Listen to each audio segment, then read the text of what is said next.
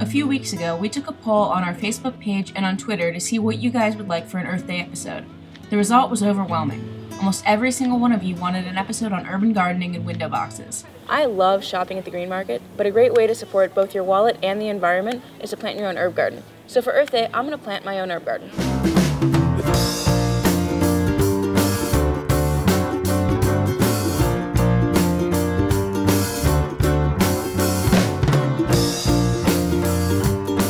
This week on Working Class Foodies, I'm a total gardening novice. I have no idea what I'm doing, so I went to the farmer's market to buy some started plants and I asked a farmer for some advice on how to keep them alive. They only put one pack per box. One pack so per three box? plants per box. Other than that, just make sure they're in the sun as much as possible. Check the soil every day and make sure it's spongy. And the only thing is with these, don't let them flower. Don't if let you them see a stem coming up from the middle, get that stem out immediately. Otherwise it'll shoot and then that's the end of it. We're going to take a quick break, but when we come back, it's time to head home to make our window boxes and do some backyard gardening. I found some great old wooden boxes out by the garbage that were perfect to plant my window boxes in. I just drilled some holes in the bottom to let the water out. If you don't let the water drain out, the roots of your plants can actually mold or rot, which obviously means your plants won't last very long. I lined the bottoms of my window boxes with some potting soil, and then I unpacked my started herbs. I mushed around the bottoms of the little plant packets to sort of loosen the soil, and then very gently pulled the plants out by their stems. And I kind of mushed the dirt around a little bit to free up the roots of the plant, pushed them down into the potting soil, and pushed more potting soil down on top of them. I planted my oregano, rosemary, and thyme together in one box, and in another box, thyme and sage. Now, of course, you don't have to buy a planting box, and you don't have to be lucky and find an old one on the street. You can use just about anything.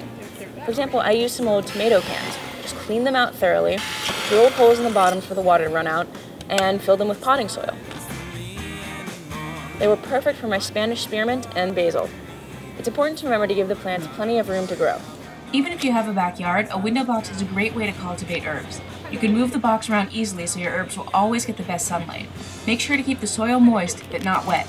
Yellow leaves means you're overwatering. Dry or brittle leaves means you're underwatering. So keep checking back over the next few weeks to see if we can keep these plants alive. If you don't think you're ready yet to start your own window box herb garden, or if you don't think you have enough sunlight, that's fine. There are still many other ways you can participate in gardening. You can join a community garden. There are all sorts of resources online to track one down in your community. You can even join a CSA. Most CSAs actually require their members to spend a day or two a month helping out on the farm. So it's a great way to learn some basics for gardening. Yes, there's a little bit of work involved in planting an herb garden, but it is well worth the cost. Anytime you need any of your favorite herbs, they're right there, right in front of you.